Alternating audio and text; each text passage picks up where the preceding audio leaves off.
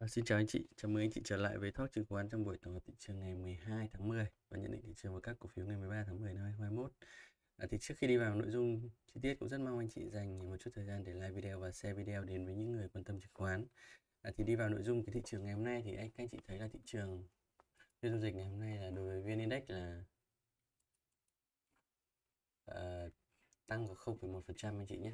Như này này các anh chị có thể thấy đây nó là một cái cái thanh giao dịch mà nó đóng ở giữa thanh giữa thanh nhé. Ở khối lượng ở mức cũng tương đối lớn như này nó khá lớn. Thì bản chất các anh chị thấy là cái phiên giao dịch VNX ngày hôm nay ấy sẽ có những cái sự chốt lời nhiều hơn là cái sự mua vào anh chị nhé. Còn nếu mà theo William O'Neill khi mà tăng cái này này nhỏ hơn hoặc bằng 0,1% mà khối lượng lớn này thì nó sẽ giống như một phiên phân phối. Tức là bản chất đây nó giống như là một cái phiên có cái sự chốt lời nhiều hơn là một cái phiên mua vào. Phiên 30 thì uh, đỏ đúng không chơi đi nó giảm à, khoảng không phải không mấy phần trăm gì đó khối lượng ở mức trên trung bình. Up Index thì à, tương tự như là VN Index đi ngang này đóng ở giữa này và khối lượng có sự gia tăng. Thì cơ bản là cái phiên giao dịch ngày à, 12 tháng 10 nó là một cái phiên có những sự chốt lời. Bởi vì các anh chị thấy là khi mà thị trường đi lên trong những cái phiên tăng điểm liên tục như này này thì sẽ có những nhà đầu tư người ta chốt lời. Thì ở đây thì à, rất nhiều anh chị ở trong các cái group uh, hỏi là thế có phải thị trường đi lên trong hoài nghi hay không? Thì thực ra các anh chị có thể xem lại các cái, cái nhận định của mình từ trước này mình chưa bao giờ nói thị trường đi lên trong hoài nghi đúng không ạ? Chưa bao giờ nói câu đấy mình chỉ nói là thị trường tiêm vaccine cho các anh chị khi mà các anh chị có vaccine sợ hãi thì nó sẽ đi lên đúng không ạ? Thì đó là cái câu chuyện mà chúng ta nhìn thấy từ trước rồi chứ không phải là một cái gì đó mà bất ngờ anh chị nhé nó không phải là gì bất ngờ đâu chúng ta hoàn toàn biết được đúng không? Trong suốt cái giai đoạn này chúng ta đều nhận định đây là một cái giai đoạn sideways và cây lên yếu đúng không ạ? trong suốt giai đoạn này đều như vậy. Và anh chị hỏi là nó có rung lắc ở những cái vùng uh, kháng cự cũ không? Thì đương nhiên là có. Đấy là cái chuyện mà chúng ta biết chắc chắn nó sẽ xảy ra. Nhưng mà khi mà tiêm đủ vaccine sợ hãi thì thị trường sẽ lên nhé cái này chúng ta không bất ngờ và không phải nghi ngờ gì cả. Đấy thì à, các anh chị có thấy tiếp là cái đáy đáy gần nhất là cái ngày 27 tháng 9 này, này. Đúng không ạ? Từ đó này nó vẫn đi lên không vấn đề gì nhé. Chị nhé bản thân mình cũng chia sẻ rồi. Đây là cái phiên đáy. Tất cả cái, cái mốc so sánh ngày xưa mình đều so sánh với ngày 27 27 tháng 9 tuy nhiên gần đây thì mình đã di chuyển cái mốc lên ngày 5 tháng 10 rồi. Di chuyển đến mốc 5 tháng 10 rồi. Thì cơ bản là thị trường ở đây nhé. Nếu mà nhận định và cái kịch bản giao dịch thì à, cơ bản là thị trường trong một cái vẫn cái trong cái xu hướng lên. Không phải là quá mạnh vẫn là trong một xu hướng lên đấy chị nhé. Nhưng mà cái việc mà hiện nay mà giải ngân cổ phiếu á, thì chúng ta cũng phải cân nhắc. Bởi vì chúng ta đã giải ngân ở trước đó rồi chúng ta đã giải ngân ở những cái phiên trước này rồi. Bây giờ mà chúng ta tập trung vào các anh chị đây là bùng nổ theo đà mà các anh chị nhảy vào mua giải ngân đó, thì đấy là một trong những cái mình nghĩ là đấy như thế cũng là sẽ là rủi ro đấy. Bởi vì sao? Chúng ta đã nhận định là sideways từ trước rồi đúng không ạ? Và chúng ta đã mua từ trước rồi. Thì cái viên này cái phiên giao dịch này bản chất là nó không không cần thiết. Nó không không cần thiết về mặt bùng nổ theo đà nhé. Nó giống như là cái sự hào hứng ở một số cái dòng như ngân hàng hoặc chứng khoán thôi. Và đối với các cổ phiếu ngân hàng ở trong những cái phiên như này thì nó chỉ là bùng nổ ở cái vùng hỗ trợ. Nó không phải là bùng nổ. Bùng nổ theo đà thông thường nó sẽ bùng nổ ở phía trên, ở phía trên của nền để nó chạy, tiếp tục chạy. Nhưng mà như thế này thì nói chung là quan điểm về thị trường là vẫn trung lập, anh chị nhé, tích cực trung lập nhé. Mình không quá tiêu cực về thị trường, nhưng không quá là tích cực và lạc quan. Nói chung là nó rơi vào khoảng điểm 7 điểm 7 nói chung là vẫn là xu hướng lên điểm 7 các chị có thể nhìn thêm cái chỉ số đây này. Nhất là cái số, đây đây là cái số lượng cổ phiếu tốt. Thông thường các anh chị thấy đây là cái ngày 27 tháng 9 là cái ngày đáy gần nhất này thì số lượng cổ phiếu tốt nó thấp thế này này. Xong nó tăng dần lên tăng dần lên tăng dần lên. Đấy thì hiện nay số lượng cổ phiếu tốt thì nó vẫn là trên cái đường trung bình này anh chị nhé điểm số thì vẫn tiếp tục đi lên này trên đường trung bình MA10 MA5 MA20 thì như vậy thì nó cũng rất là tích cực nha. số lượng cổ phiếu tiếp tục nở ra tích cực. Các cái dòng tốt ấy, thì đợt này cũng phải chia sẻ là chúng ta phải thận trọng một chút bởi vì các anh chị thấy những cái dòng chính của chúng ta này chứng khoán này thép này ngân hàng này à, khí đốt này. Thì ờ, nếu mà so theo cái gốc ngày 5 tháng 10 này này thì bình quân mấy cái dòng này đang đang bị thấp hơn thị trường chung đang có những cái sự giảm điểm. Trong khi đó nhé bình quân của các cổ phiếu trên thị trường là tăng 2,7% đúng không ạ?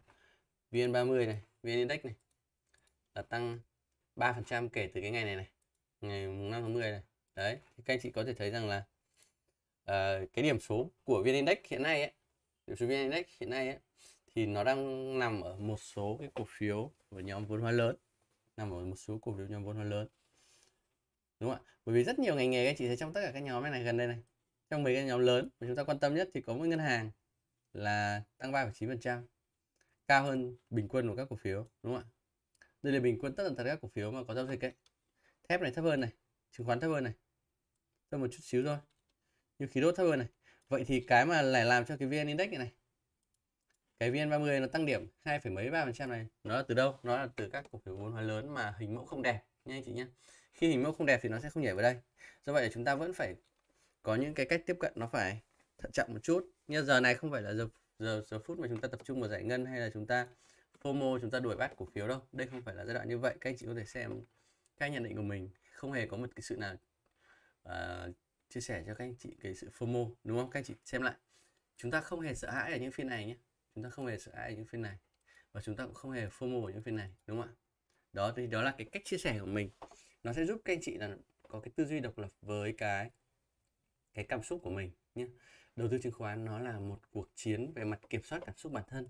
Khi không, khi chúng ta không vượt qua được cái cái cảm xúc của bản thân với những cái sự, gọi là, FOMO để đuổi bắt cổ phiếu hoặc là sợ hãi khi bán thì chúng ta sẽ rất là khó để có thể có thể có một cái cuộc chiến lâu dài và kiếm được những cái kết quả trên thị trường chứng khoán. Như nhé thì đấy là về thị trường. Về thứ hai là các uh, giai đoạn này thì sẽ không khuyến nghị mua nhiều. Không khuyến nghị mua nhiều đặc biệt là FOMO với những cái cổ phiếu mà nó tăng điểm mạnh. Chúng ta phải lựa. Thứ nhất là các cổ phiếu bùng nổ thì nó phải là ở nền hoặc là gần nền đúng không ạ?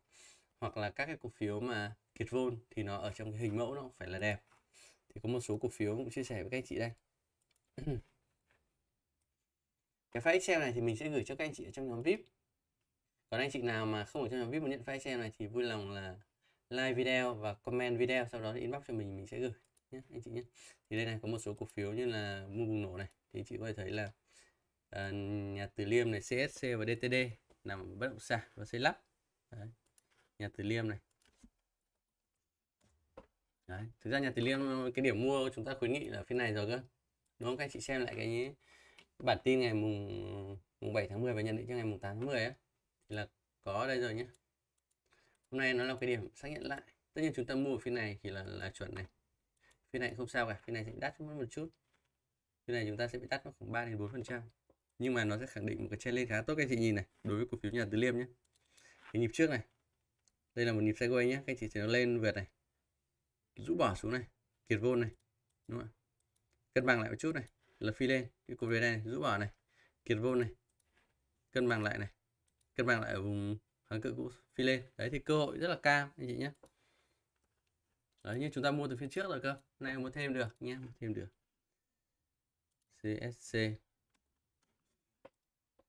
CSC đây điểm bùng nổ vấn nền nhé, anh chị nhé. Đây là mình, sau khi nó rũ này, nó rũ hết thì nó kéo lên này đúng không ạ? Xong có một vài phiên nó khối lượng nó giảm dần, bùng nổ nhé thì vượt nền. Đây là cổ phiếu bùng nổ vượt nền. Và DTD DTD đây DTD đây. Trong đây giai đoạn sideways khối lượng kiệt này. Đấy, khối lượng kiệt thì chứng tỏ đây là đây là cái đáy gần nhất của nó. Đúng không ạ? Đây là những cái điểm một test. Đấy thì cái khối lượng vào nó sẽ lên thôi.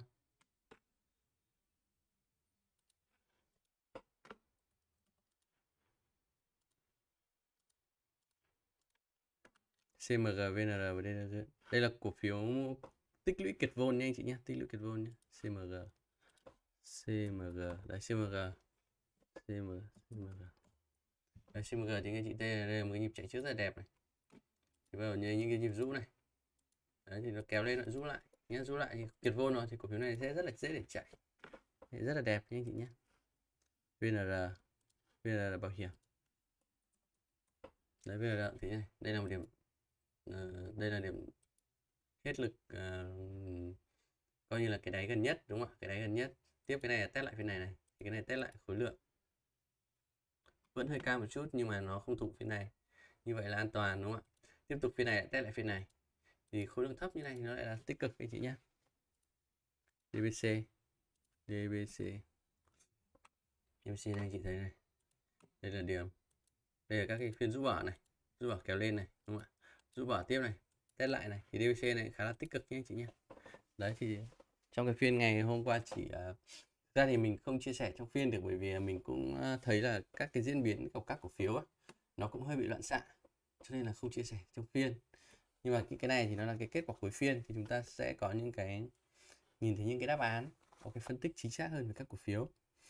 Về các cái phân tích danh mục theo yêu cầu các chị thì à, thực ra thì các chị có thể xem một cái file xem này đây mình sẽ để các anh chị xem là, tốt nhất nhé. Như là các cổ phiếu mạnh nhất hiện nay này. Đối với các anh chị mà không nhận được file sale thì có thể xem đây à, đây các cổ phiếu mạnh nhất này. Nó sẽ có ở một số cổ phiếu về đầu tư bất động sản này. À, vận tải này. Khai khoáng này. Nông thủy sản này. Thép này. Đúng không ạ? Vật liệu xây dựng này. Xây lắp này. Đấy. Đấy là những cổ phiếu đẹp nhất. Nhưng mà các cổ phiếu mà các anh chị an toàn thì thường những cổ phiếu trên mã 10 thì các anh chị xem ở đây này đấy, đây là danh sách các cổ phiếu cũng khá là đẹp.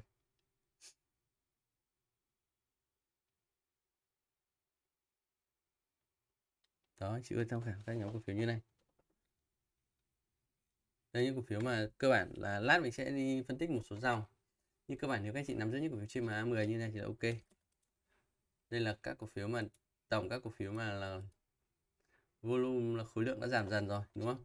Tất nhiên trong này chúng ta chỉ chọn được có mấy cổ phiếu nãy vừa nói thôi CMG, VNR và DVC thôi đúng không ạ? Đấy thì các anh chị có tham khảo. Đấy chính này.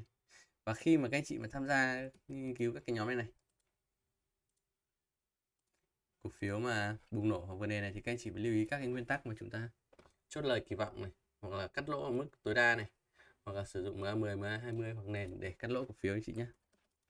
Đó thì đó là các cái chia sẻ phân tích của mình về các cổ phiếu. Thì bây giờ mình sẽ phân tích một số cái nhóm ngành để cho các anh chị có những cái cảm nhận đúng không? Về cái phương hướng hành động ví dụ như ngân hàng này thép chứng khoán này khí đốt và thép than mình sẽ phân tích năm cái nhóm này. Mình sẽ xem theo thứ tự nhé. Từ mạnh nhất này đến tốt nhất này còn tăng giá này. Đấy. Sẽ phân tích cho anh chị dòng chứng khoán nhé. Ở chứng khoán đi EVS này xong phiên ờ, e, uh, SOS này thì nó có một cái absolute tức là absolute như này thì không thể vấn đề gì anh chị nhé. Tuy nhiên là cổ phiếu nếu mà chạy rồi ở trong này này thì nếu thủng MA20 thì chúng ta cũng nên bán. Đấy là cái nguyên tắc như thế. Như này thì vẫn chưa vấn đề gì. FTS nhé FTS thì khối lượng như thế này là so với những cái phiên như thế này thì là hơi không phải là quá đẹp đúng không ạ? Nhưng so với những cái phiên này thì nó cũng khá là kiệt. Chúng ta cũng nắm giữ thôi vẫn ok nắm giữ nhé. Còn nếu như này này trong này này nếu mà nó thủng ra 20 thì anh chị cũng, cũng có thể là anh chị tạm thời ra cho nó an toàn như thế. Cái nguyên tắc là chúng ta là nếu chạy trên nền thì dùng MA10 còn trong nền dùng MA20 đúng không ạ? Còn nếu các anh chị mua tích ở dưới này đúng không? Thì các anh chị sẽ dùng chính cái vùng hỗ trợ này để các anh chị cắt lỗ. Đấy nó là như thế. Dòng chứng khoán ấy, trong nền nhé nhưng mà khối lượng đang có sự dâng cao chúng ta cần phải cẩn thận hơn một chút xíu nhé. Vì mình nghĩ là có thể nó cũng sẽ có những cái sự điều chỉnh nhất định đấy. Sau một cái nhịp tăng thì có thể sẽ có những cái điều chỉnh nhất định. BMS thì vẫn là một SOS nhé. Thì sau khi nó kiệt khối, khối lượng thì đây là cái phiên mua vào.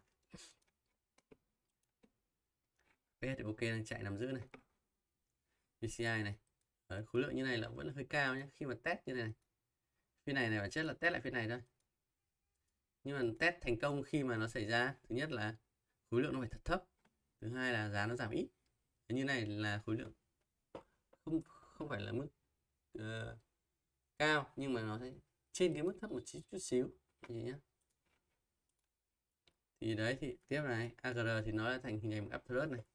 Thì à, đối với dòng chứng khoán thì cái phiên uh, ngày 12 này này thì nó thể hiện là chúng ta vẫn nắm giữ cổ phiếu được. Ví dụ như VND thì khối lượng đang như này là nó kiệt là cũng tốt này. Thì thể hiện là chúng ta vẫn nắm giữ được anh chị nhé nắm giữ được. Nhưng mà nếu mua trong phiên ngày 12 theo cái cách là test test đáy á, thì không nên mua bởi vì khối lượng nó vẫn còn hơi cao một chút. Đấy như này là khối lượng hơi cao một chút này. Thì không nên mua nắm giữ thì ok nhé nắm giữ thì ok nhưng không nên mua nữa. Các cổ phiếu đều thế nhé đấy, như này là test này như như BVS thì test là là là là đẹp này. Cái phiên này này test lại phiên này này. Cái này test lại phiên này nhé test cái này test khối lượng. Khối lượng rất thấp và giảm ít đúng không ạ? Đấy, thì đấy là đặc điểm của dòng chứng khoán nhé. Chúng ta nắm giữ nắm giữ được nắm giữ quản trị danh mục nhưng mà không ưu tiên mua trong phiên. Dòng uh, khai thác than. Khai thác than thì các anh chị thấy sau khi một cái nhịp chạy rất là mạnh đợt trước này thì nó đang chững lại ở cái này. Đấy và khối lượng nó đang có cái sự kiệt dần thì chúng ta có thể quan sát. Nó sẽ mang tính đầu cơ khá cao và có sự rủi ro nhưng mà chúng ta theo dõi thì cũng sẽ có thể cho chúng ta những cái cơ hội nhất định. Đây các anh chị thấy đây là một nhịp rũ này để test lại này đây là test cứ rút lên này. Thì HNC này cũng là một cổ phiếu khối lượng khá là đẹp nhé. Khối lượng khá đẹp nhé. Đấy. Khối lượng kiệt hơn này. THT này. Như này thì ờ, thứ thứ nếu tham gia chúng ta có thể tham gia những cái phiên mà nó gọi là test cung ba nhé. Tức là sau khi nó rũ xuống không rũ được nó kéo lên có thể tham gia. TDN này đây khối lượng có sự kiệt dần này. Đấy. TVD thế này, các anh chị thấy khối lượng kiệt dần. Thì nên theo dõi. Đối với dòng thang này mình nghĩ theo dõi là cũng được đấy theo dõi là cũng ờ, được đấy ok. Nhé ngân hàng nhé ngân hàng thì các anh chị thấy sau những cái phiên bùng nổ vừa qua này thì uh, thông thường bùng nổ xong nó sẽ phải test lại nhé bản chất đây nó chỉ là một cái vùng vùng sideways thôi. Thì uh, khi mà nó kiệt vôn ở vùng hỗ trợ thì nó sẽ bùng nổ lên. Bùng nổ lên nhưng nếu chúng ta mua đuổi thì có thể điều đó sẽ có những cái sự vẫn có những cái sự rủi ro và sai lầm. Hơn nữa nếu các anh chị mua bùng nổ thì các anh chị đang dính vào cái cuộc chiến về mặt FOMO đúng không ạ? Tất nhiên cơ hội thì là có cơ hội thì có chứ không phải là không có nhưng mà các anh chị có thể tham gia lại những cái phiên test thì nó sẽ đẹp hơn rất là nhiều. Nhá khi mà có những cái phiên như thế này và những phiên bùng nổ lên thì bản chất cái pha C của cái cái vùng tích lũy ấy, nếu đây nó lên thì nó sẽ là thì nó sẽ là tích lũy đúng không ạ? Thì danh giới pha C của nó sẽ nằm ở những cái điểm như thế này này. Đấy thì thì thì, thì uh, chúng ta nên chờ nó test lại tham gia ở cái pha D đầu pha D thì sẽ đẹp hơn. Đấy như EVF thì đang chạy này nằm giữa nhá EVF thì nằm giữa nhá. Techcombank này này đây là những cái tín hiệu mạnh vào. Thì như này test này là cũng ổn nhá khối lượng thì cao hơn các cái phiên này. Nhưng mà nó là nó đi ngang. Không không chấm không phần trăm đúng không? Coi đi ngang thì phiên trước thì chung dòng ngân hàng thì hiện nay là là vẫn là tích cực nhé khoảng điểm 6 điểm 7 cho điểm thì điểm 6 điểm 7 nó trên ngân hàng này với chứng khoán ngang ngang nhau. Về mặt cấu trúc, về mặt cấu trúc. Nhưng mà sức mạnh thì gần đây, ngắn hạn thì ngân hàng nó đang ngoi lên bởi vì có một cái phiên bùng nổ. Thành ra cái chỉ số tăng điểm của nó khá là cao kể từ cái ngày mùng 5 tháng 10 và chúng ta so sánh đấy, thì theo mình là cũng nên quan sát nhé nếu đối với của test này mà anh chị máu thì anh chị vẫn mua được. Ví dụ như tận đây này. Đây là một cái. Khi nó về như này nhé thì đây sẽ là cái cái gì thì đây nó sẽ giống như là chúng ta không đi theo nguyên tắc, chúng ta không bắt đáy nhé chúng ta không bắt đáy. Nguyên tắc là chúng ta phải thấy đáy. Thì đây là những cái đáy ngắn hạn này, đây là đáy ngắn hạn này. Đấy, thì các chị sau khi đáy thì nó khối lượng kiệt khô này. Khối lượng kiệt khô này đúng không thì đây là phiên test này. Đấy, thì khi mà test xong thì nó sẽ bùng nổ này. Bùng nổ xong rồi test lại. Test lại là đi ngang khối lượng thấp như này thì nó sẽ rất có cơ hội nó chạy, đúng không ạ? Đấy. Chung dòng ngân hàng thì có cơ hội anh chị nhé, có cơ hội chúng ta nên quan sát.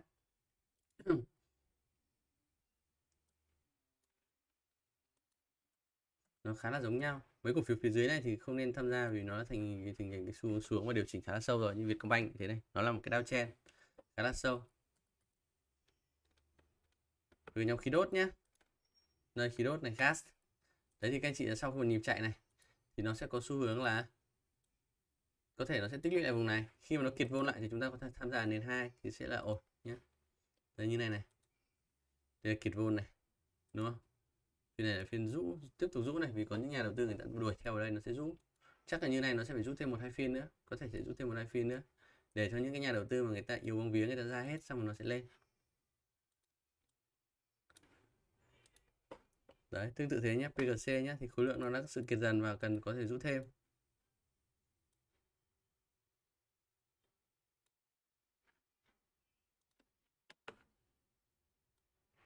Chị nhé cái này chúng ta nên quan sát thêm đây. Khối lượng thì kiệt rồi. Đấy nhá rũ kéo lên này. Nói chung có hai dòng là mình thấy dòng khí đốt và dòng than này là chúng ta có thể tham gia theo cái cách mà ở nền hai nhé nó có cái khả năng đầu cơ thành công rất là cao. Dòng khí đốt và dòng à, than đấy nhưng mà cần theo dõi thêm. Đối với dòng thép thép này. Đấy, thép thì VCA này đang chạy này đúng không? Điểm mua bùng nổ chúng ta phát hiện ra đúng không có chia sẻ với các chị rồi. Ờ, uh, bom này thì à, nó là có cái vùng kháng cự ở phía trên.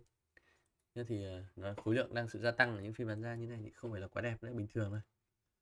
TDS TDS thì uh, uh, rũ ở vùng, vùng hỗ trợ này rũ vùng hỗ trợ này.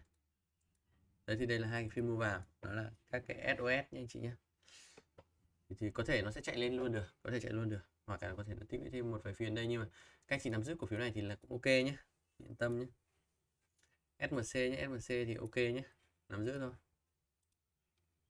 SMC là trên nền nhé TLH trên nền nhé như này thì khối lượng nó đang giảm dần thì ok thôi, không vấn đề gì, vẫn đẹp. Đấy, hòa phát này, hòa phát. Hòa phát đang chạy rất là ổn nhé ok. Nam kim nhé nam kim như này thì là các anh chị thấy những phiên bán ra này là khối lượng hơi lớn một chút. Thì chúng ta cũng theo dõi. Tuy nhiên là cổ phiếu này thì nắm giữ thì vẫn ok nhé. Nắm giữ ok. Hòa phát hòa phát ok nhé. Là hoa sen. TVN thì TVN thì trong nền nhé. Thì khối lượng những phiên bán ra nó hơi cao một chút thì nên theo dõi thêm. Có thể nó sẽ thủng A20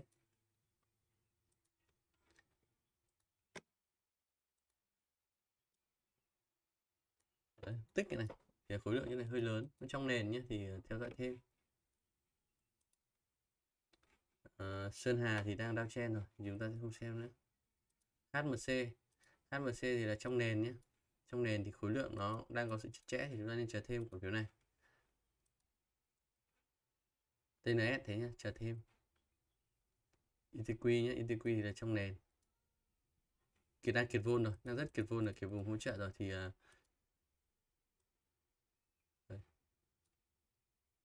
đúng không các chị thấy là kiểu phiên này là phiên test lại phiên này này thì cũng nên có thể theo dõi thêm